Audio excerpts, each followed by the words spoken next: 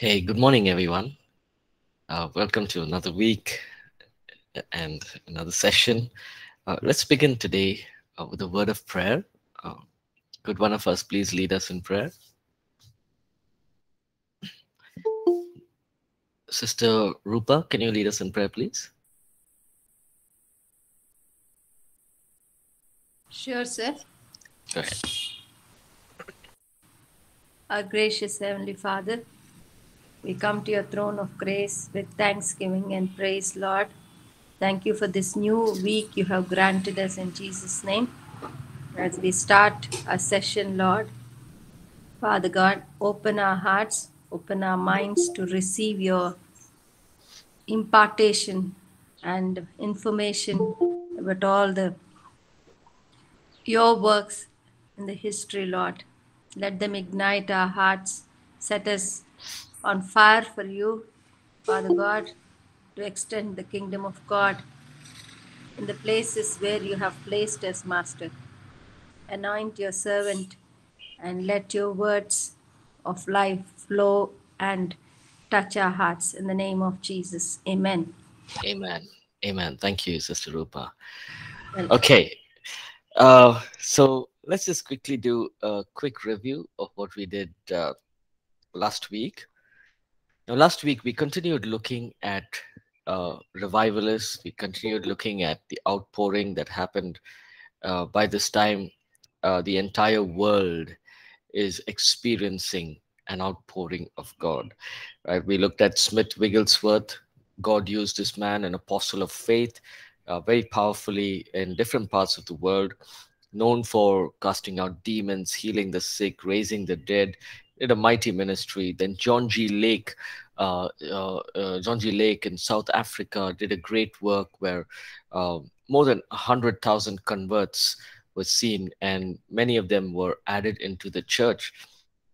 And we also looked at uh, very briefly Charles Fox Parham, who started the Bethel Bible uh, College. Now, this is not the Bethel that we know of at Redding, uh, but this was in uh, Kansas, and it was wonderful how you know it was just through about I think it was 40 students, and uh, from those 40 students, you know, outpouring started.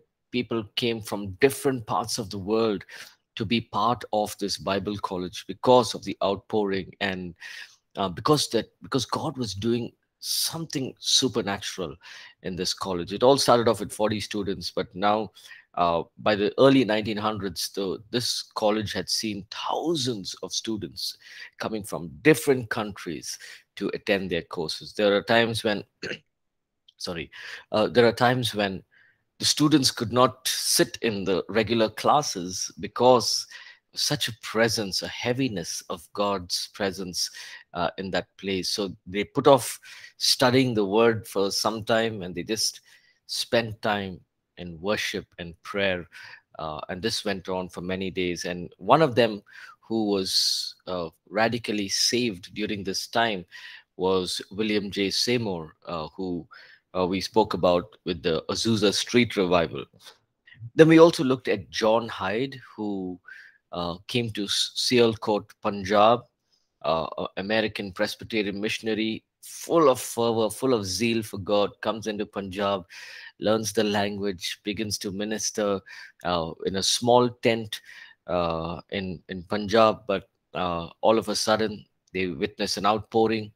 Hundreds of people come in, whole nights of prayer.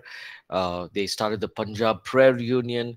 Uh, people came and stood in the rain during the conventions, and the conventions wouldn't stop. It went on night after night after night, and uh, it was a powerful move of God in Punjab. Then we also looked at uh, Pandit Ramabai, the Mukti mission that happened in Mumbai. Uh, now, even though Pandit Ramabai was more towards helping the widowed Brahmin women, uh, they did see an outpouring uh, in that Mukti mission itself because uh, Pandit Ramabai, even though she had the whole thing of you know helping out uh, women and uh, uh, you know giving them a voice uh, during those times in Mumbai, uh, she earnestly prayed for revival, and this whole Mukti mission saw an amazing move of God. It is noted that hundreds and thousands of Brahmins were converted to Christ during that time, and so uh, so it was a it was a it was a it was a season when God was doing something in the nation of India. Of course, there are there was revival continuing in other places as well, but something very peculiar uh, was happening in the nation of India. Sadhu Sundar Singh, again, uh, in a Sikh family uh, from Ludhiana, uh, known for his uh, very loving personality. if we read books about Sadhu Sundar Singh, it is it is said that you know when people saw him, it was like seeing the face of Jesus. It was it was so you know so loving, so kind, so gentle. Uh, yet there was this uh, you know this uh, word that came out from him that's so powerful uh, that even demons would flee when he would walk between the parts of these mountains and you know he was known as the apostle of the bleeding feet with the bleeding feet because of the the long long distances that he traveled uh, by foot and so uh, we will carry on from here. Uh, we will look at a few more revivals, few more outpourings, uh, and then towards probably the end of this class, or maybe the end of next week's session, we'll just leave it open to, you know, get your thoughts, get your feedback on uh, what do you think about revival? What do we need to do as a body of Christ? Uh, you know, whether it's our nation here in India or uh, globally as well, because it's important to understand that you know when revival starts in one place uh, we we talked about this right? It's like fire. It it eventually spreads to other countries. So so yes we pray for our own countries but we can also pray for revival in different countries. Um, uh, right so let's start from page 55 if you're tracking along another thing is we may not be able to you know look at each outpouring and each revival only because of lack of time. So uh, there may be you know few points that we may skip uh, just so that we can get to the important ones and be able to finish uh, our portions at, at, on time. Right, page 55. Now, early 1900s saw revival in Korea.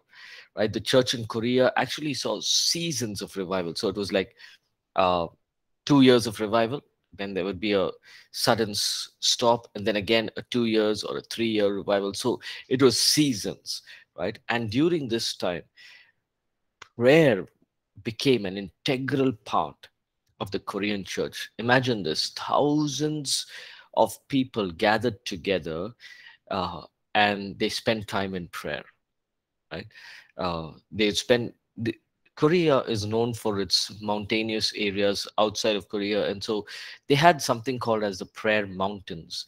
So they would actually go up the mountain uh, and, and they would spend time in prayer. Right. And these were uh, not just a day or so, they would spend days and nights in prayer.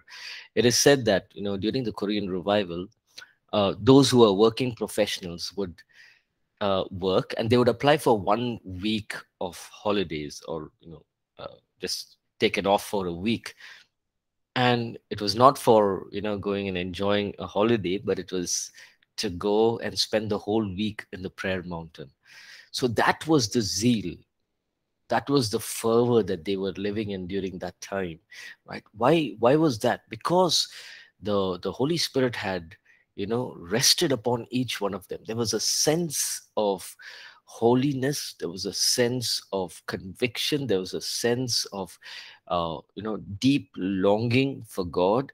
And you know it's not easy. I think most of us know it's not easy to pray for a whole night right? Uh, forget about the whole night it's not even easy to pray for two hours at a stretch right uh, because there's so many distractions and so many things Yet, during those times, they prayed throughout the night. And, and it was not by their own uh, you know, physical strength, but it was because the Holy Spirit had brought them under such deep conviction. So Korea saw mighty revivals. Uh, uh, and later on, we'll also look at, uh, you know, uh, David Yonggi Cho also, who was part of these revivals. Uh, and as a young boy, he would go up those mountains and he would watch, uh, you know, what is happening. But he was not too fervor. But we'll look at that later on. Uh, right. So Korean revival. Then we see that revival went into North China. Uh, Jonathan Goforth was uh, uh, a Canadian missionary.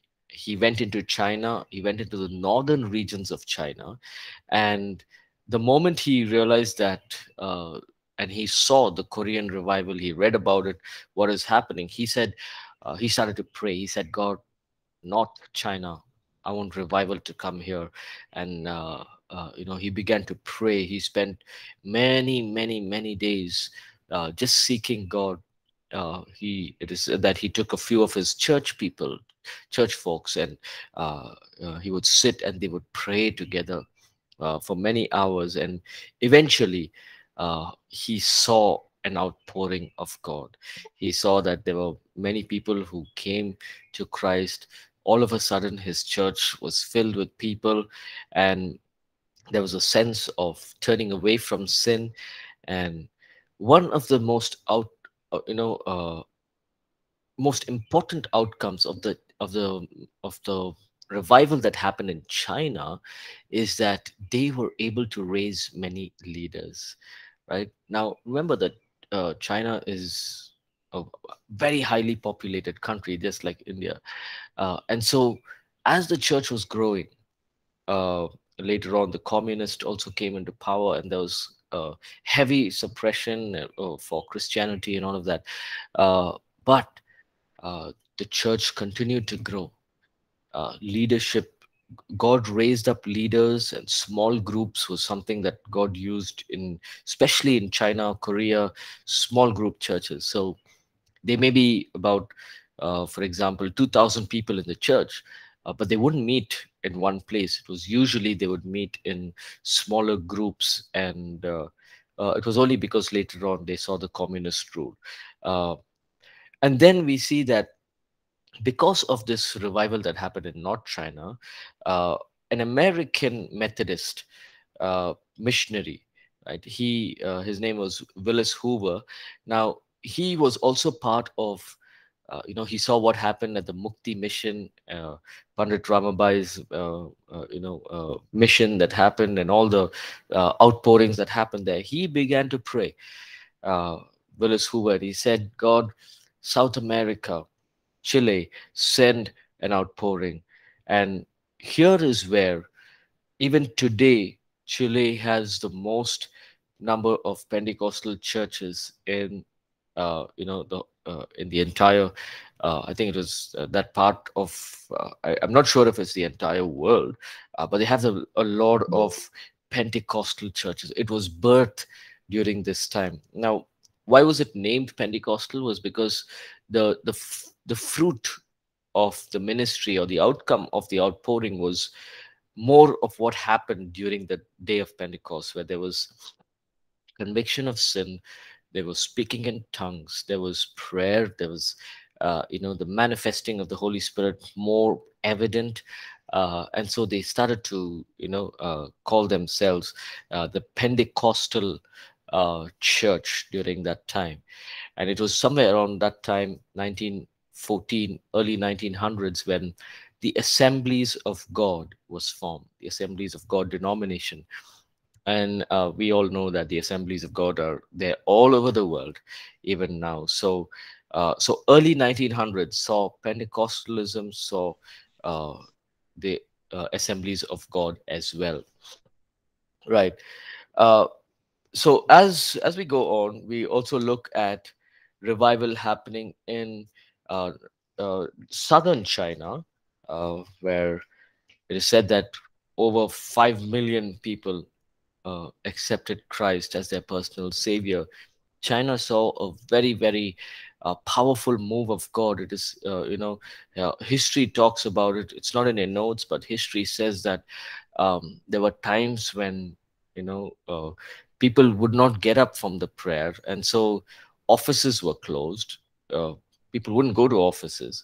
And uh, they were just sitting there praying for days. And and and so people from different places came to witness this. Why why is it why is it that people are not coming out of this place? And uh, when they came to witness it they also experienced um, uh, the move of the holy spirit upon their lives.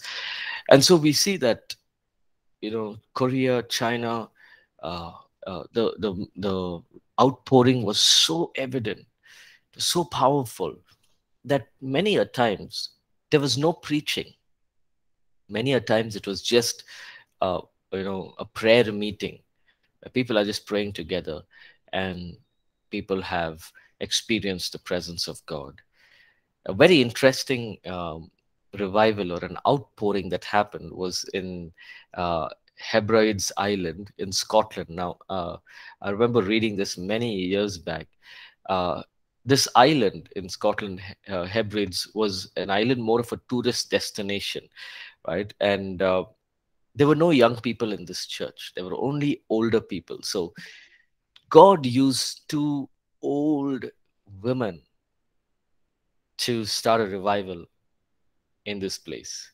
One lady was Peggy Smith. She was 84 years old and she was blind. And another one, another woman was Christine. Her name, her, she was 82 years old. She had uh, uh, arthritis. Okay. 84 year old Peggy Smith, who was blind, and 82 year old woman who had arthritis. They said, We've heard about the you know the revivals that are happening all over the world. They were part of a church. They said, God, we've heard about revivals happening everywhere. Now we want to see a revival. So they began to pray 10 p.m. in the night to 3 a.m. in the morning. Right? Uh, so what they did was they rounded up a few prayer warriors and they began to pray 10 p.m. to 3 a.m. 84 years old, blind, 82 years old with arthritis. They began to pray. Three times a week, they prayed. And, you know, they began to confess the scripture, Isaiah 44 3. I'll just read that. For I will pour water on the thirsty land and streams on the dry ground. I will pour out my spirit on your offspring and my blessings on your descendants. So they every day they would begin to declare this God, this is what your word says. This is what your word says. So over three months, they began to pray this. All of a sudden, there was a move of God. Uh, uh, one night, as they were praying, the whole place was gripped with the fear of God. The whole community was like, you know, in, in this whole sense of conviction. Uh, one thing very important is you know when an outpouring comes when the holy spirit comes the bible teaches us that the holy spirit brings us under conviction right but he brings us under conviction to righteousness. So even when we look at all these revivalists and these outpourings remember when the holy spirit comes he brings conviction. So the first sign of an outpouring is repentance of sins. a, a high intense uh, you know knowing that hey i'm a sinner and i need a savior. Uh, a high level uh, you know uh, uh, understanding of what sin and righteousness is. Normally when we go about life we may not you know uh, understand we may not you know realize hey this is wrong or this is right or i shouldn't have done that. Sometimes we make a mistake and then we think oh uh, i shouldn't have done that. It happens to everyone. But here's the thing when there's an outpouring uh, of, uh of god that even the smallest thing will cause so much of conviction in people's heart even the smallest sin right? Uh, it could be just a small lie yet it will bring a high level of conviction upon people. So people would avoid that also right? Even the smallest of sins. So same thing here it was a it was more of a holiday destination. This island people came there to celebrate to have fun to enjoy themselves. They found that the island saw more a lot of tourists coming in but they're all coming in and they're going into a church. Suddenly they found 600 people gathered outside the church. Of course, there were also localites, people living there. and then 600 people standing outside the church. What started with about three, four people praying 600 people gathered outside the church. They all began to arrive. All the buses and uh, local transport started coming to this church. This was the main center. Where is everyone going? They're going to this small church, and 600 people are gathered there. Uh, buses start to uh, arrive there, and nobody knew what is happening. What is happening? No, there are two old women there praying, and then all of a sudden, everyone want to go there, and there's a conviction, and God is moved in that place the Holy Spirit did his own publicity, right? In the sense that nobody had to invite anybody to church. And usually in these places, you have to do some kind of outreach, but nobody had to do anything. The buses, the trains, everything were leading to this church. Why? Because people wanted to go to that church. Uh, the whole island, people fell into trance. They were weeping, they were crying. Uh, many uh, cried for mercy. There was an overwhelming sense of the presence of God.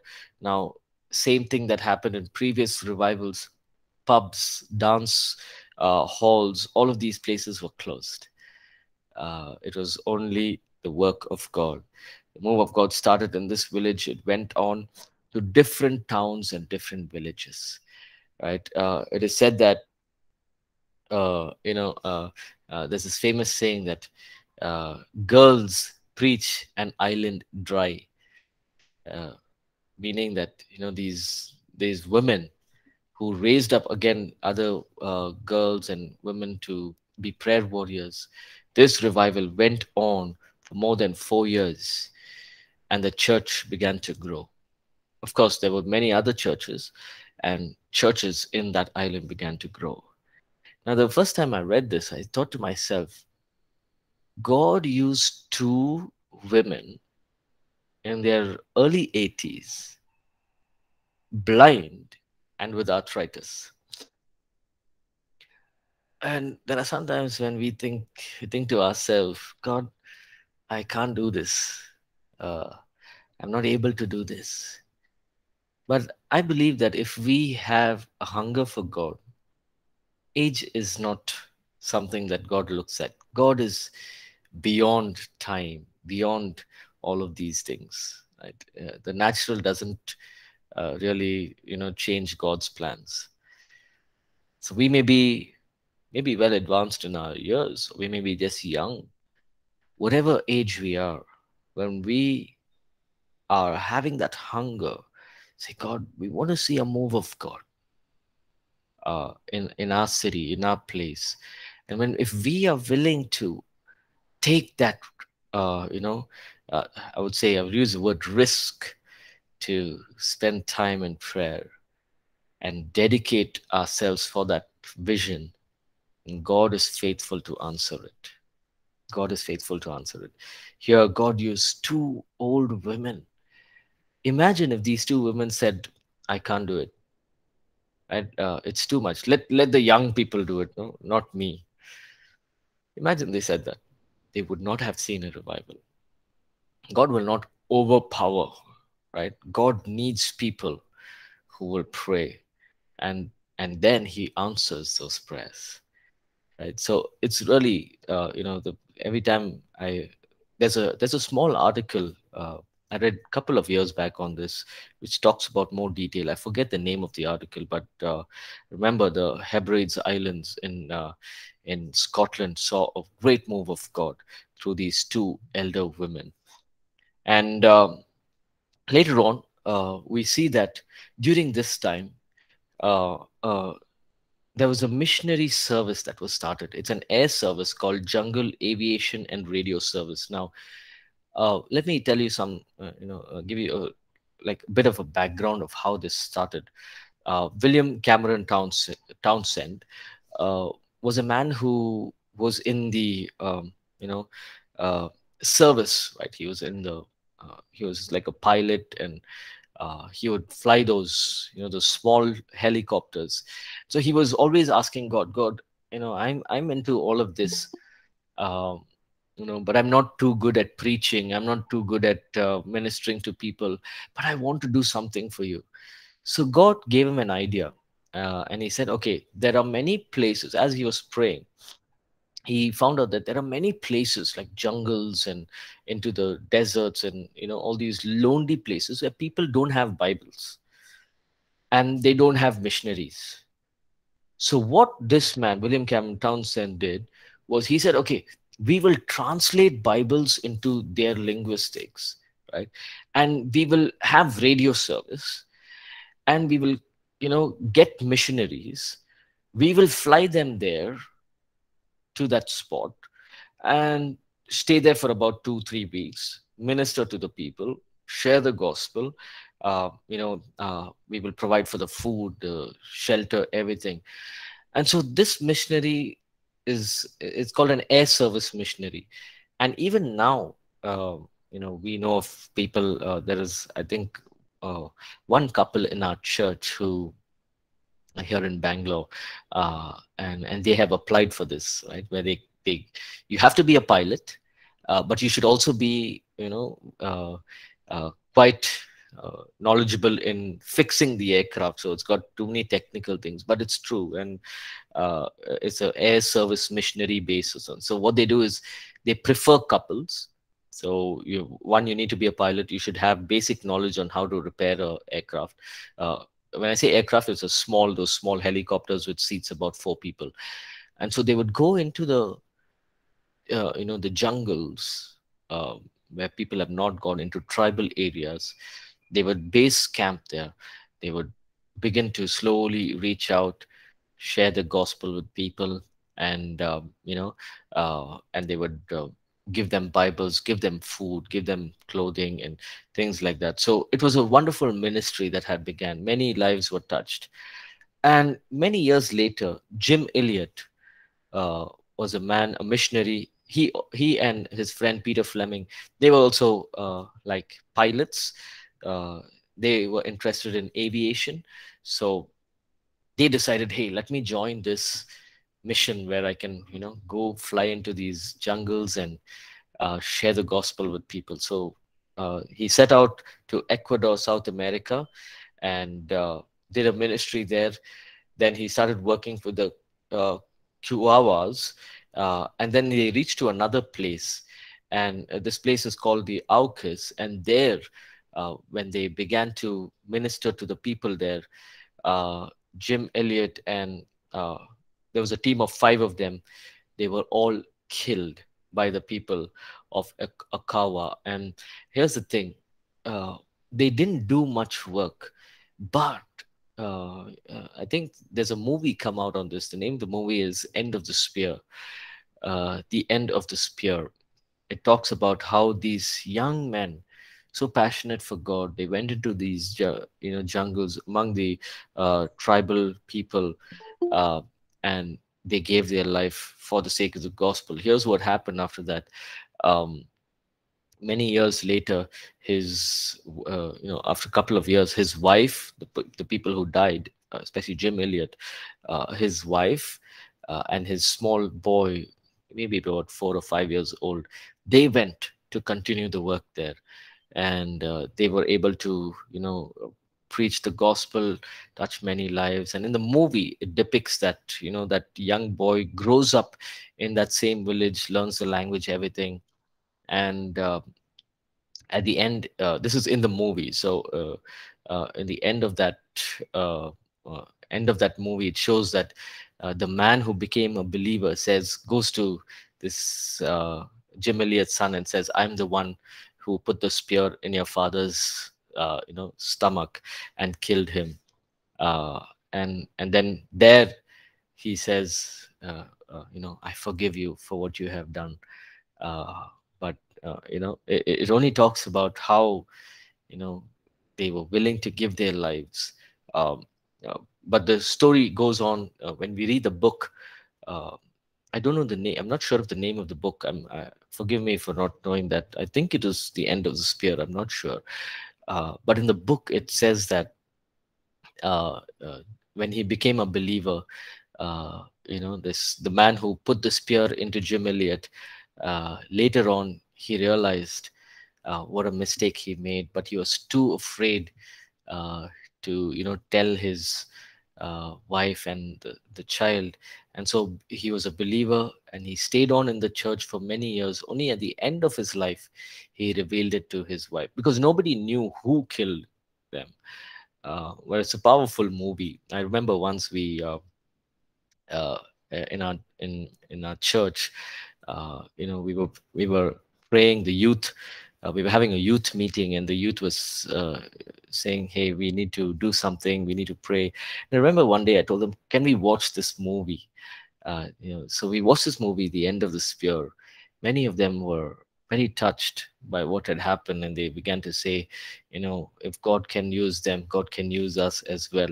Uh, so if you get the, a hand on that movie i'm not sure if it's on youtube as well but you can go ahead and check it the end of the spear uh, talks about jim elliot itself.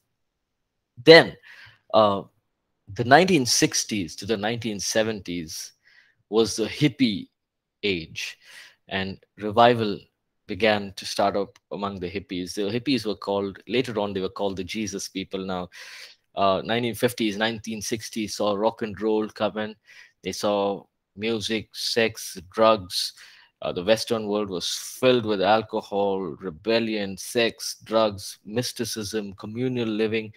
Uh, uh, all of a sudden america especially saw this this whole outpouring. The work of god was just dampened uh, because of uh, i would say it was music. Uh, rock and roll and drugs brought things turned the entire situation around what saw thousands of people going into churches saw thousands of people going into drug filled concerts and uh, into large stadiums. Yet there was a young man named charles smith and his wife kay smith. They were also uh, you know uh, ex drug addicts and uh, hippies i would say. And uh, uh, he had a heart for these hippies you know. Usually during those times they would say okay this guy is a hippie. They wouldn't you know communicate to them. They wouldn't uh, involve with them. Say okay these guys are gone case. Uh, they're not going to do anything. They have no use all of that. But chuck smith uh, charles smith and his wife uh, did not do that. They were they had a heart for the hippies.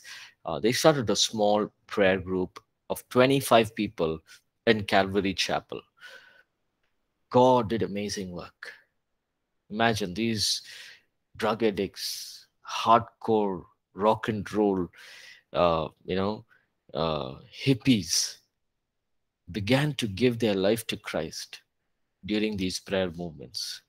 25 people met for prayer. They saw the church growing. Uh, they saw uh, thousands of people coming into the church. Calvary Chapel began to spread out and have different churches around, right? and and what happened during this time? The early uh, late 60s early 70s was uh, people referred to them as jesus freak.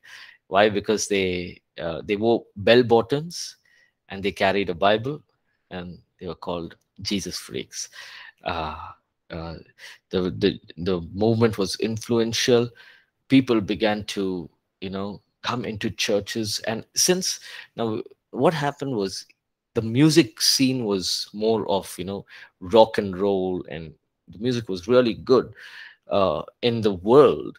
And so what happened was that same style that the contemporary style was brought in in the church. Now nothing wrong in that uh, right even uh, the jesus movement was the contemporary christian music that started right maranatha uh, singers hill songs uh, later on, uh, you know, Jesus Culture, all these bands, Petra uh, uh, was a wonderful, you know, gospel band. And uh, the singer of Petra, John Schlitt, was also a drug addict, a hippie. He was in a band. the name of the rock and roll band was Head East.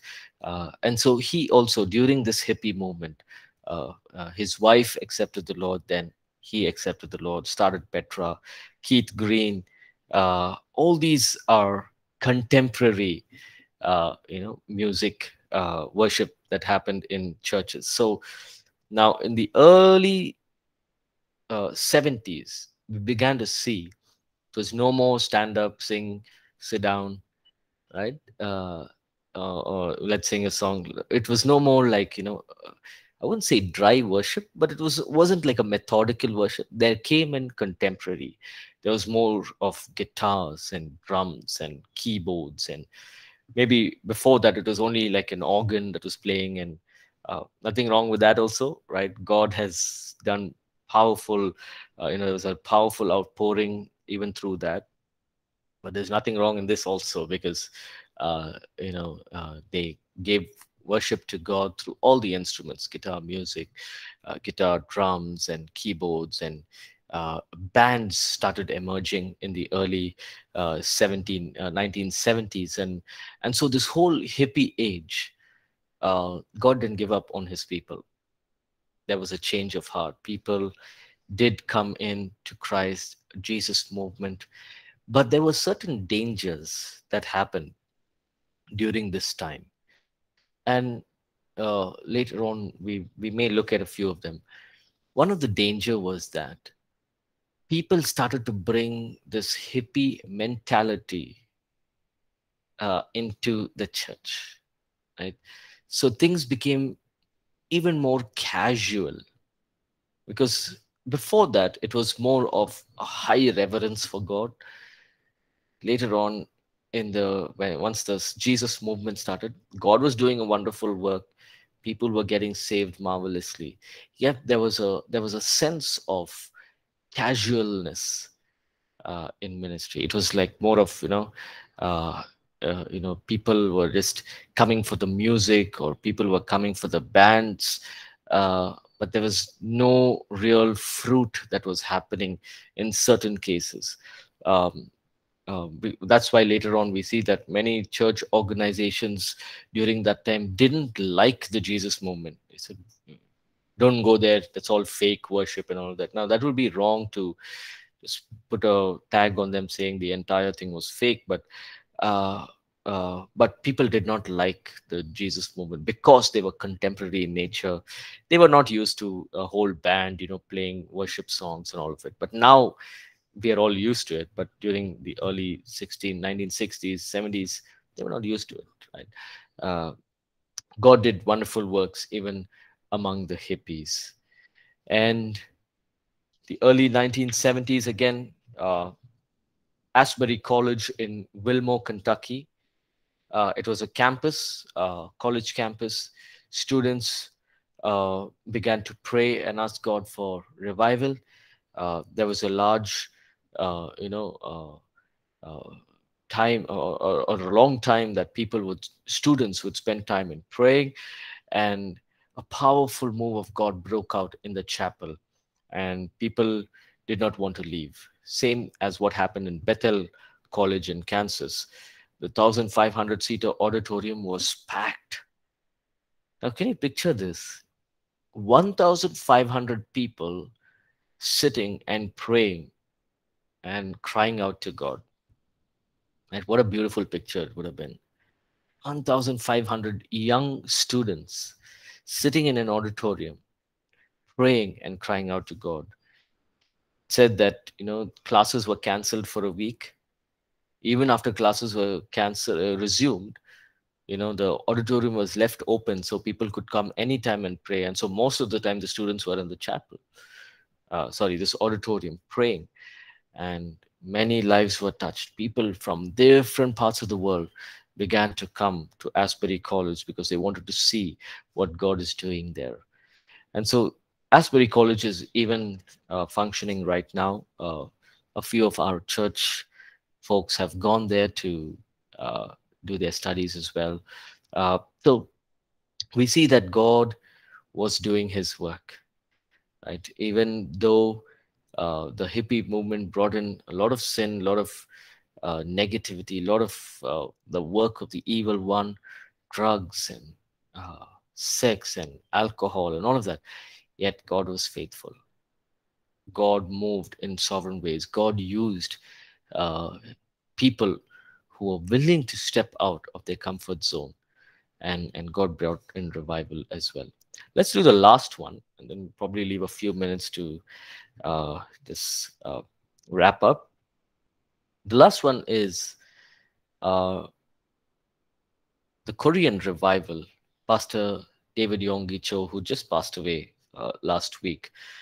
Uh, now, Korea is already seeing revival, yet there was this this time when uh, uh, David Yonggi Cho, uh, uh, you know, he had many health problems and all of that as a young boy, not really interested in church and all that. But uh, you can go on YouTube. He shares his entire testimony. But after he accepted Christ, he was, uh, you know, radically saved. God had healed him from his sickness. So he said, I'm going to start and I want to see revival in South Korea. And so he started in a small tent in the uh, in, in Seoul uh, in a small slum, right? Small tent in in a slum area of uh, uh, Seoul, and he named it the Yoido Full Gospel Church. Now, it started with five people in the church, right? Five people in the church. Right now, this church is the largest church in the world. Now, how did it become the largest church? Even when you look at, uh, you know, when you listen to his testimony and what he speaks, David Paul Yonggi Cho says, we focused on one thing prayer and fellowship. Right? Prayer. He said, we spent time praying. So they would go up these mountains, which was already being done during the Korean revival.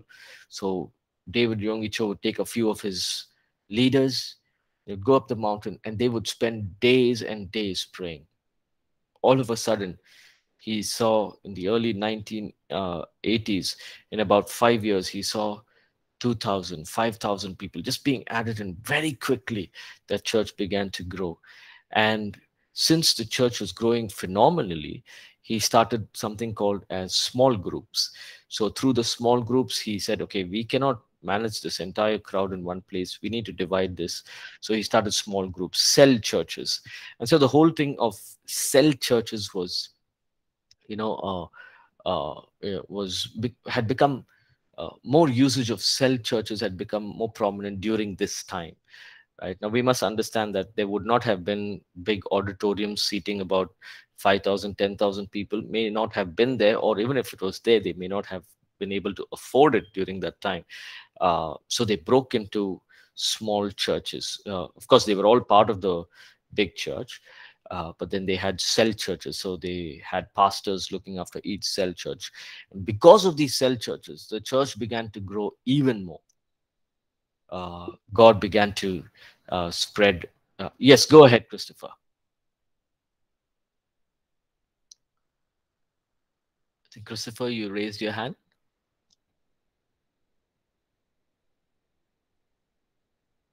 Okay.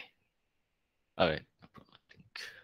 Okay, so we see that God used, they depend on the Holy Spirit, they prayed, and many lives were touched. The church began to expand rapidly in Korea, and even now, uh, this this whole ministry of uh, the Yoido Full Gospel Church is doing wonderful work, uh, blessing many lives in the entire world as well. Uh, this church is also evangelistic in nature. They send out missionaries to different parts of the world uh, to spread the gospel of Jesus Christ. What started with one weak man, sick boy, uh, God healed him. And what started with five people has now turned uh, into the biggest church in the world.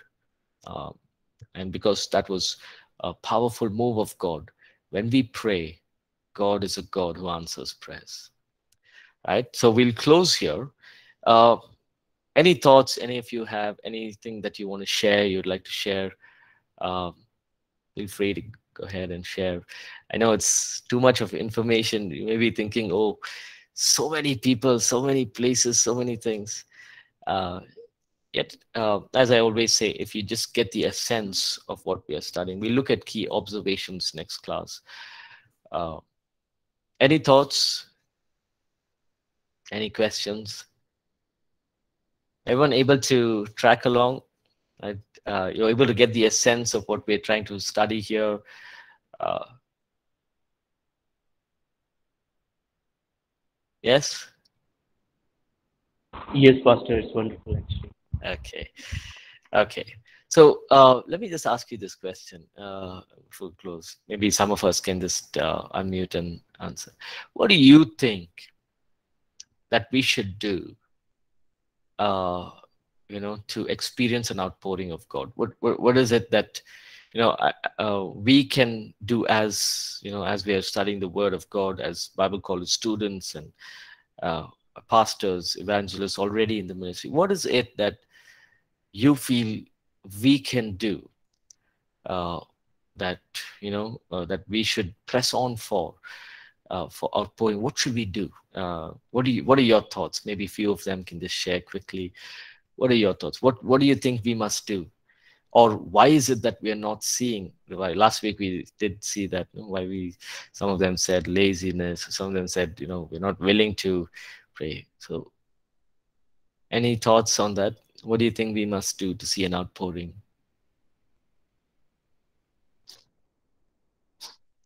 Abhishek Mitra says, communion with the Holy Spirit. All right, good. Yes, thank you.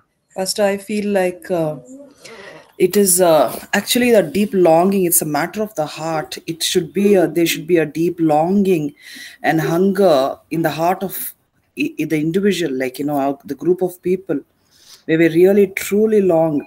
Like david says like um, in the psalms he says uh, deep calls unto deep and he says as the deer pants for the water. So it's the matter of the heart like when we really long if there- when there is a deep longing for his presence for his work and for his manifestation in our midst i know we pursue it in prayer. So when we have the deep longing you know there is a deep hunger and we go after all of ourselves like in all of our heart all of our strength and that kind of prayer like you know really i feel attracts god like you know to come into that place and move so I really feel like you know that uh, prayers that come out of such longing is the key for the move of god in our midst like you know so that's what i feel pastor Yes, thank you, Biela. Yeah, very true. It is the longing, the deep desire to see a move of God, very important. Uh, just like how the two elderly women in uh, Hebrides Island prayed 10 p.m. to 3 a.m. seeking God. Charles says, uh, we do what sparked off the other revivals prayer and fasting and fellowship. Very true. Uh, prayer, fasting, and fellowship. Kennedy says, prayer, pray and seek divine outpouring of the Holy Spirit. Very true. Yes. Anybody else want to share? Samuel, uh, check our intentions. Do we want to make God famous? Do we want God to come and touch lives and change lives? Or even though we say we want God to work, we may be pursuing fame, power. Very, very, very good point, Samuel. That's very true. Many a times, um, you know, especially when we start off as the church grows or as the ministry goes, grows, we tend to feel that okay, we are, uh, we need to be, you know, eh, that whole feeling of pride comes in. We feel okay, uh, you know, uh, I'm the one who did this, or I was able to do this. Very important point. Thank you for sharing, Samuel. Check your intentions. If we are, if our intentions, you know, we may pray 10 a.m. to 5 p.m. Fast and pray, good. But if our intentions are wrong, uh, then we may, we may not see an outpouring. If our intention is okay, we want to overtake the other church, or we want to be known as the uh, famous church, or if, if it's wrong intentions, we may not see an outpouring of God. But yet, in that, God is faithful, because He's He's a good God. Even though we pray, we may have wrong intentions. Even through that, sometimes He, you know, He has mercy on us. He blesses us. He brings healing. He brings deliverance. He brings an outpouring. Uh, but if we want to see a true, genuine outpouring, we need to check our intentions. Thank you, Samuel. Uh, Charles, uh, I know you raised your hand. You can go ahead. I have no time left, but quickly, uh, you can just go ahead and share what you want to say, Charles. Uh, uh, thank you much, mm, very much, Pastor. Uh, mine is the issue of time. The devil has stolen our time in a way that we do not have time. You will observe, as I stated it, prayer, fasting, and fellowship all involve time. When our intentions are checked, then we will be able to give in time. Yes, God needs uh, our time so that we would be able to fellowship with Him, fellowship with the Holy Spirit, and be able to do the work that He has assigned us to do. I think the issue of time also comes in. Thank you so much. Yes, thank you. Thank you so much, Charles, for sharing that. Yes, God uh, uh, expects us to spend time in His presence. All right, let's close. Sorry, I took a few minutes more. Uh, let's just quickly close in prayer. Father, we want to thank you for this wonderful day, O God. We thank you for what we've learned.